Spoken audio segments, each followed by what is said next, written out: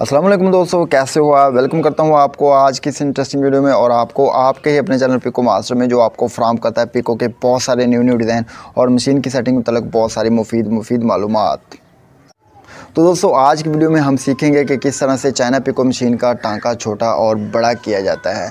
China pico हो या overlock दोनों की सेटिंग एक ही होती है। आज मैं आपको दोनों की सेटिंग बताऊँगा कि किस तरह से आप चाइना पिको और ओवरलॉक मशीन का टांका छोटा और बड़ा कर सकते हैं, क्या तरीके का आ रहे और कौन कौन सी जगह से किया जाता है। तो दोस्तों, इसके दो तरीके होते हैं। एक साइड पर लगा होता है हैंडल उसके बारे में तो काफ़ी दोस्त मेरे जानते होंगे कि हैंडल को ऊपर नीचे करने से टांका छोटा और बड़ा हो जाता है। और एक साइड पर लगी होती है पुली, जहाँ पर हमारी मशीन का बेल्ट चलता है, उसको वो घुमाती है मशीन को। तो उस पुली को घुमा कर टांका छोटा और बड़ा भी किया जाता है। काफ़ी मेरे दोस्त इसके पुली के बारे में नहीं जानते, उनके नॉलेज में है कि यहाँ से टांका छोटा और बड़ा हो जाता है, लेकिन उसका तरीक़ेकार उनको नहीं पता कि ये किस तरीके से छोटा और बड़ा किया जाता है। तो आज की वीडियो में मैं मुकम्मल तरीक़ेकार बताऊँगा कंप्लीट सिखाऊँगा तो वीडियो को आपने लास्ट तक देखना है मिस और स्किप नहीं करना। क्योंकि हो सकता है वीडियो को मिस और स्किप करने से आपको किसी चीज़ की समझ आए और किसी चीज़ की समझ ना आए और आपकी सेटिंग और आपकी नॉलेज अधूरी रह जाए।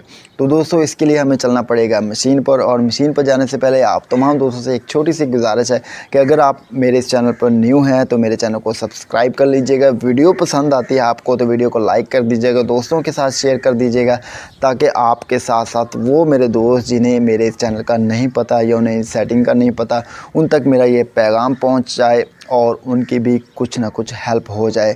तो दोस्तों, चैनल को सब्सक्राइब कर लीजिए, क्योंकि इस चैनल में मैं इस टॉपिक की मशीन की सेटिंग के मतलब बहुत सारी वीडियो अपलोड कर रखी है मैंने। अगर आपने मेरी वो वीडियो नहीं देखी तो बैकअप पर जाकर, वीडियो में जाकर आप मेरे इस वीडियो को देख सकते हैं। तो चैनल को सब्सक्राइब कर लीजिएगा, साथ में लगे बेल आइकन को भी दबा दीजिएगा और ऑल पर क्लिक कर लीजिएगा। तो चलो दोस्तों, शुरू करते हैं आज की इस इंटरेस्टिंग वीडियो को और कुछ नया सीख लेते हैं।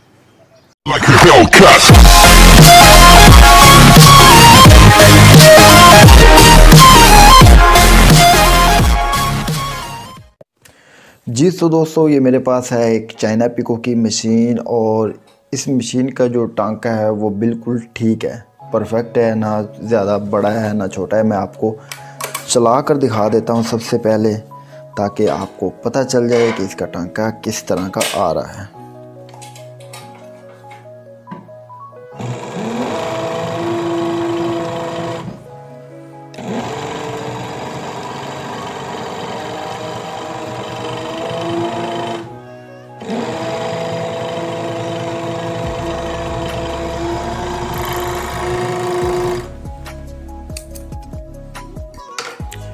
जी तो आप देखें कि ये बिल्कुल परफेक्ट टांका है। कितना प्यारा, खूबसूरत टांका ये ना तो बड़ा है और ना ही ज़्यादा बरीक है। तो अब हम बात करेंगे कि इसका टांका छोटा और बड़ा कैसे होता है। तो दोस्तों, सबसे पहले ये टांका छोटा और बड़ा की जो मेन वजह है, कहाँ से इसकी जो तब्दीली होती है, क्या वजह है कि कहाँ से ये छोटा और बड़ा होता है। जब हम बूट लगाते हैं तो इसको पिको करते हैं तो ये टांका छोटा बड़ा करते हैं। जबकि हम बूट लगा लेते हैं, उतार देते हैं सॉरी तो अब हम पिको करेंगे तो ना तो ये छोटा करेगा, ना बड़ा करेगा। हाथों से हम चलाएँगे तो आप हाथ हाथ की मदद से या तो छोटा कर लें, या अगर कपड़े को ज़्यादा खींचेंगे तो बड़ा हो जाएगा।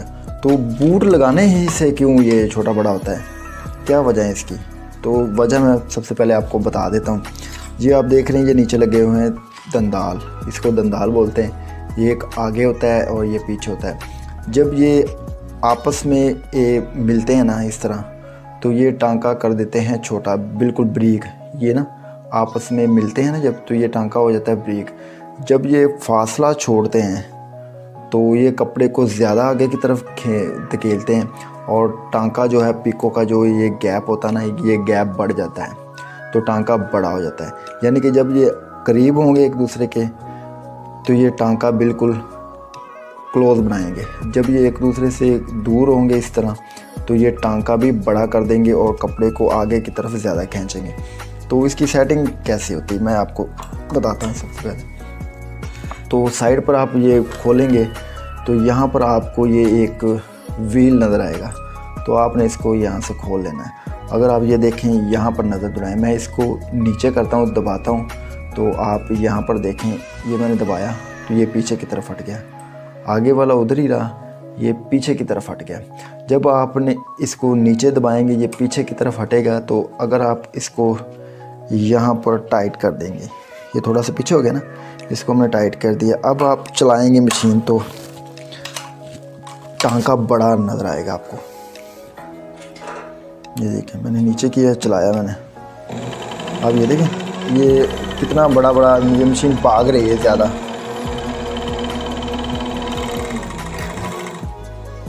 अब ये देखें। ये कितना गैप आ गया इसमें। अब जो पहले वाली पिको थी, वो ये वाली थी।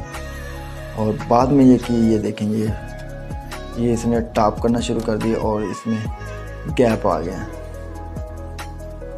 तो वजह क्या है कि ये, जब ये एक दूसरे से दूर हुए तो कपड़ा इसने आगे की तरफ़ खींचना ज़्यादा दिखेलना शुरू कर दिया और टांका बड़ा हो गया। जब ये करीब होते हैं तो ये कपड़ा कम दिखेलते हैं आगे की तरफ़ और टांका ब्रीक होता है। अब मैं खोलता हूँ तो ये आपस में साथ मिल जाते हैं, ये देखें। नीचे किया खुल के ऊपर किया तो ये मिल गए, नीचे किया खुल गए, ऊपर किया मिल गए। यानी कि नीचे करोगे तो ये खुल जाएँगे और टांका बड़ा हो जाएगा। अगर आप ऊपर करोगे तो ये टांका छोटा करेगा तो एक तो ये तरीका होगा। अगर आपने टांका छोटा बड़ा करना है तो आपने बड़ा बड़ा करना है तो इसको नीचे कर देना, ये टांका बड़ा हो जाएगा। अगर छोटा करना है तो आपने इसको ऊपर कर देना और टांका छोटा होगा। एक तो हो गया ये वाला तरीका और दूसरा तरीका एक और है, वो मैं आपको बताता हूँ। और दूसरा तरीका जो है, वो यहाँ पर अगर आप देखोगे अपनी मशीन के तो यहाँ पर आपको एक बटन नज़र आएगा।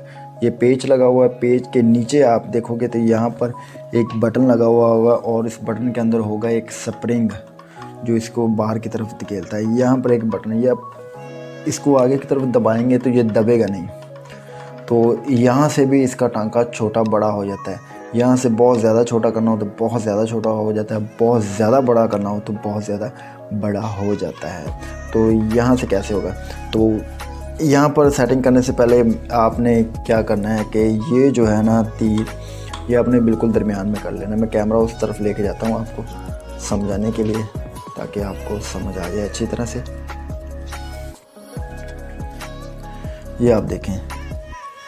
हम्म, यहाँ पर। यहाँ पर आपको नंबर शो हो रहेंगे एक दो तीन और चार पाँच। तो आपने इसको खोल कर यहाँ पर तीन पे कर लेना है दरमियान में। ठीक है? यहाँ पर आपने इसको टाइट कर देना यहाँ पर ये हो गया टाइट बिल्कुल। तीन पे हो गया। ना ऊपर है ना नीचे, यहाँ पर सिर्फ़ ये दरमियान में। तो यहाँ पर आपको टाइट तीन पर करने के बाद आपने दोबारा आ जाना है उसी जगह।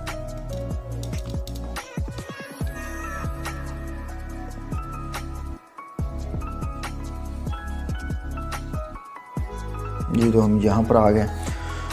तो अब ये देखें। ये बराबर हो गया और इस व्हील को मैं घुमा इसको आपने दबाना है ऐसे। और इस व्हील को घुमाना है चाहे आप अपनी तरफ़ घुमा लें चाहे आप आगे की तरफ़ घुमा लें। ये देखें आपने इसको दबा के रखना है। ये अब ये दबेगा नहीं। जब आप इसको घुमाएँगे तो ये अंदर की तरफ़ जाएगा। अब मैं इसको आगे की तरफ़ ये ऐसे घुमा देता हूँ। ये इसको मैंने घुमाया घुमाता गया घुमाता गया। और एक ए, मतलब कि पॉइंट ऐसा आया कि ये व्हील अंदर की तरफ़ दब गया। ये देखें। ये व्हील अंदर की तरफ़ चला गया, काफ़ी अंदर चला गया। ये, जब ये अंदर की तरफ़ चला जाए तो समझ ले ये अंदर बैठ गया है, ठीक है? तो अब ये देखें कि ये अंदर की तरफ़ काफ़ी हद तक चला गया।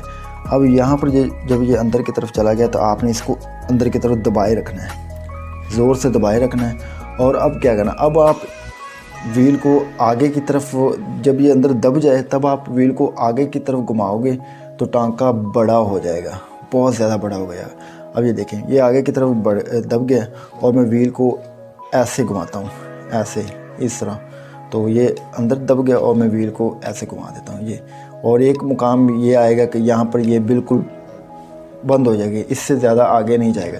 अब मैंने इसको दबाया तो आगे जाके ये अटक गया है, ज़्यादा नहीं जा रहा है। जो मर्ज़ी कर लो, ये आगे नहीं जाएगा, ठीक है? इसको छोड़ूँगा तो ये आगे जाएगा।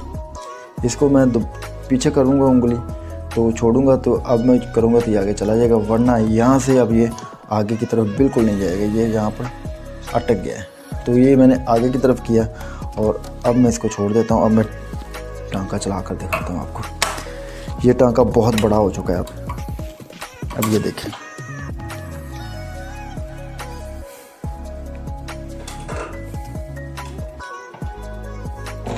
अब ये देखें। ये कितना बड़ा टांका हो गया। कपड़ा कितना तेज़ी से भाग रहा है।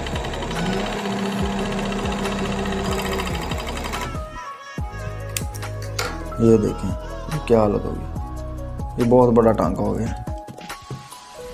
ये देखें।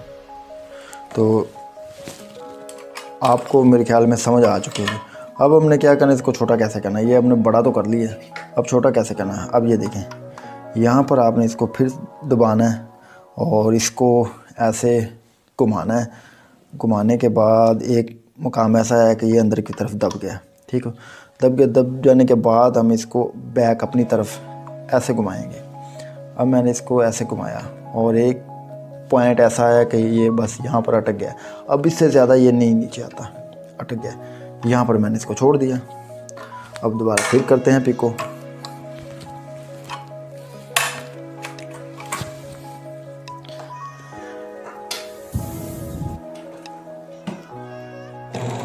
अब देखिए, ये तो बहुत ही ज़्यादा ना, बहुत ज़्यादा छोटा हो गया। अब ये देखिए, ये तो चल ही नहीं रहा। ये तो मशीन चल ही नहीं रही, इतना छोटा हो गया।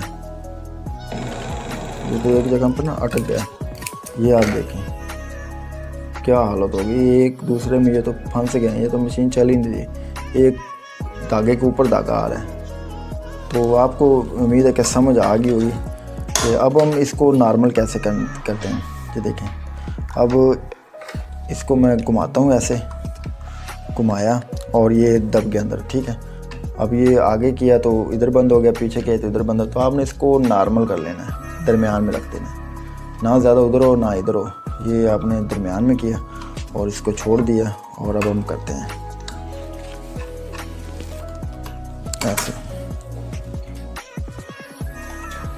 ये देखिए हम अब इसके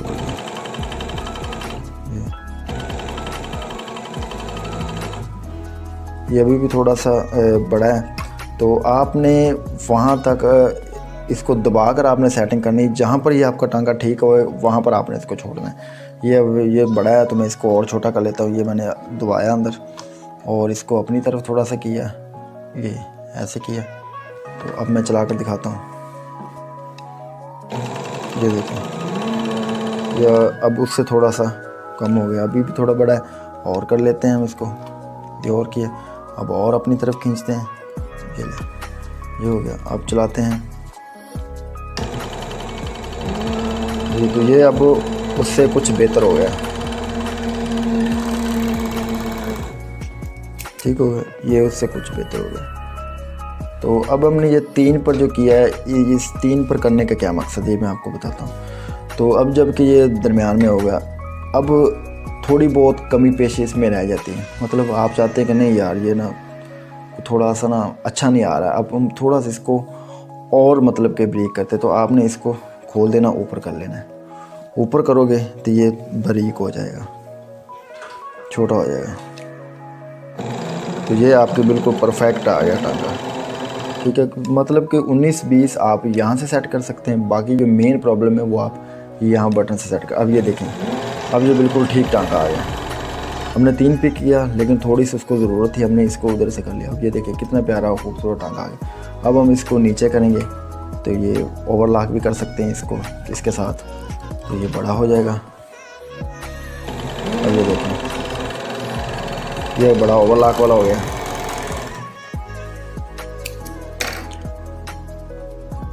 अब ये जो टांका है, ये ओवरलॉक वाला टांका है और ये जो है, ये चाइना पिको वाला टांका है। तो दोस्तों, यही इसका फंडा है जो मैंने आपको समझा दिया है। यहाँ से भी कर, करके दिखा दिया यहाँ से भी कर कर दिखा दिया और ये तरीका भी आपको बता दिया और ये तरीका भी आपको बता दिया तो उम्मीद है आपको ये, इसकी समझ आ चुकी होगी कि किस तरह से आप ये टांका बड़ा और छोटा कर सकते हो। अगर फिर भी नहीं समझ आई तो मुझसे कॉन्टैक्ट कर सकते हो, मैं फिर भी आपको समझा दूँगा।